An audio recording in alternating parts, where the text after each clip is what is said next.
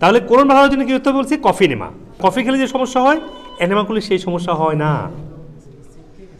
Enema totally different enema তো পেটে আসে না। এটা একটা লিভার এটা একটা হ্যাপাটিক এটা ভেন আছে ভেন ধরে লিভারে যায়। লিভারটা একটু হিলিং করে।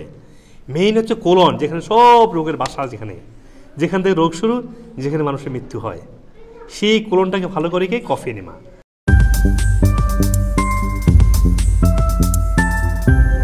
অনেকে বলবে কফি তো খেতে পারি না, কফি খেলে তো আমার অনেক সমস্যা হয়। হ্যাঁ আপনি কফি খেতে পারবেন না। কফি খেলে শরীর থেকে পানি বেরিয়ে যায়, লবণ বেরিয়ে যায়। তখন পাখানে আরও কষ্ট হবে আরও অ্যাংজাইটি হবে আরও ফ্যাটিক লাগবে আরও আপনার সমস্যাগুলো বাড়বে। কারণ শরীরে পানি থাকবে না। এ পানি বের করে দেয় শরীর থেকে, লবণ বের করে দেয় সবাই না। একটা হেলদি মানুষ কফি খেতে আরও ভালো তার জন্য। যার সমস্যা হয় তার জন্য ক্ষতিকর, মনে রাখবেন জিনিসটা।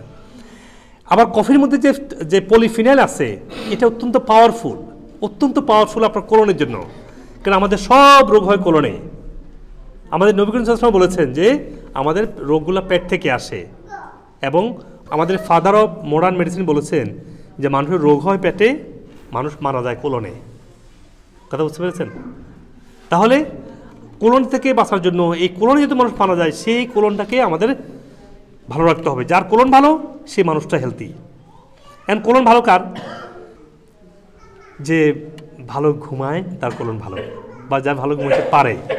অনেকে পারলেও ঘুমায় না, অনেকে চালিয়েও পারে না। তাহলে আপনি ঘুমাতে পারছেন কি না ঘুমানোর জন্য আমার অনেক ভিডিও আছে। ঘুমানোর কোথেকে আসে? অনেকে বলবে আপনি ম্যালাটোনিন খান। অনেকে বলবে বেশি করে পানি খান।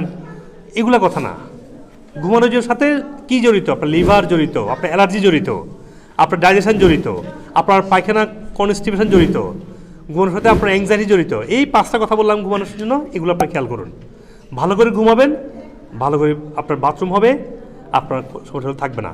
তাহলে কোরআন ভালো জন্য কি করতে বলছি? কফি নেমা কফি খেলে যে সমস্যা হয় এনেমা করলে সেই সমস্যা হয় না। এনিমা টোটালি ডিফারেন্ট এনিমা তো পেটে আসে না। এটা একটা লিভার এটা একটা হ্যাপাটিক এটা ভেন আছে ভেন ধরে লিভারে যায়। লিভারটা একটু হিলিং করে। মেইন হচ্ছে কোলন যেখানে সব রোগের বাসা যেখানে যেখান থেকে রোগ শুরু, যেখানে মানুষের মৃত্যু হয়। সেই কোলনটাকে ভালো করে কে? কফি নেমা কারণ কফি নেমা করার জন্য কী নিয়মগুলো বলা আছে? কফি নেমা করতে গিয়ে অনেকে পারে না। আমি দেখেছি এই প্লাস্টিকের ব্যাগ কিনবেন না। ইমাজিন আপনি প্লাস্টিকের ব্যাগ কিনছেন কফি নেওয়ার জন্য। আপনার কি মনে করেন প্লাস্টিক শরীরের জন্য ভালো? তাহলে প্লাস্টিকের এনিমা কীভাবে করবেন? সেই প্লাস্টিকের মধ্যে গরম কফি দিবেন।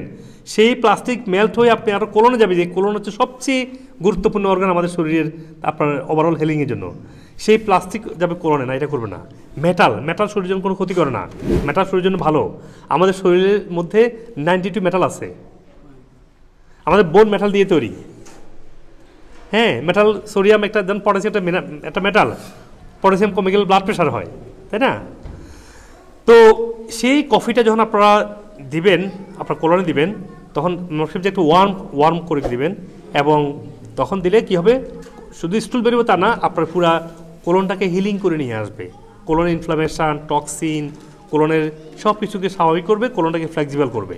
এটা কীভাবে করবেন, কতদিন করবেন, এবং কত সময় লাগবে, আমার অনেক ভিডিও আছে। আমি একটা ভিডিও করেছি, কীভাবে থার্টি মিনিটে কফি নিমা করা যায়। অনেক বলে এটা অনেক লম্বা সময় লাগে। দেখেন ভিডিও থার্টি মিনিটসে করা যায় কফি নিমা। শুধু গরম, আমি একটু বলে দিই, প্রথমত বাকেটটা কিনবেন হ্যাঁ? সবাই করবেন এটা। কারোর জন্য কোনো ক্ষতি কোনো সাইড ইফেক্ট নাই। আনলেস আপনি লবণ না খান, কফি নেমা, ওটা বলা আছে ভিডিওতে, কফি নেমা করার আগে পরে লবণ খাবেন। এবং কফি নেমা যখন করবেন, তখন আপনারা আগে পরে লবণ খাবেন, কফিটা বাকেটে কফি নেবেন, এটা পাইপ দিয়ে আপনার কোলনে যাবে, শুয়ে, আমি দেখিয়েছি নিজে করে, আমি দুইবারই, দুইটা ভিডিও আমি নিজে করে দেখিয়েছি।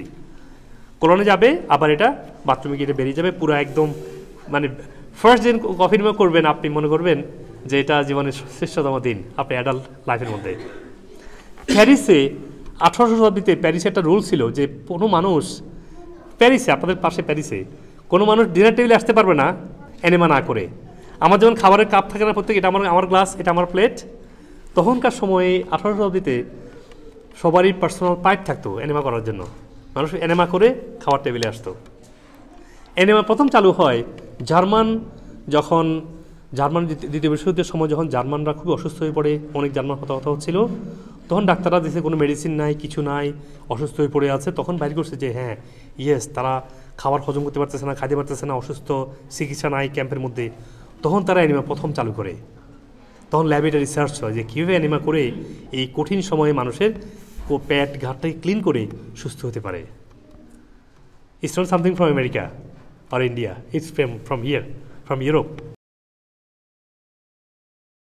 প্রথম দিন করার পরে আমার খুব ভালো লেগে যায়। আমি ফিলিংসটারে মানে কীভাবে এক্সপ্রেস করব আমি বুঝতে পারছি না। অ্যামেজিং একটা ফিলিংস আমি ফিল করলাম। মানে আমি হাঁটতে পারতাম না। আমার কোমর থেকে মনে হইতো যে কিছু নাই। আর সারাক্ষণ আমার বুকের ভিতরে মানে কাঁপতো। আমি আমি বুঝতে পারতাম যে আমার ভিতরে কোনো প্রবলেম হচ্ছে। আর আমি আশায় ছেড়ে দিছিলাম যে আমি বাঁচবো। সিঙ্গাপুরে নিয়ে যাই। এদেশে তো দেখলাম এদেশে আমি দুই তিনটা ডক্টর চেঞ্জ করলাম। মানে টোয়েন্টি ফোর আওয়ার্স এই পেনটা আমাকে বদার করতো, আমি খুব, আমার আরও আমি আশা ছাড়া দিলাম। আমার সবসময় মনে হইতো যে আমি বুঝি এই মরে যাব। আইবিএস এর জন্য বা গ্যাস্ট্রোপ্যারাসিস এর জন্য কফি এনিমাটাও আমেজিং একটা ট্রিটমেন্ট আমি মনে করি।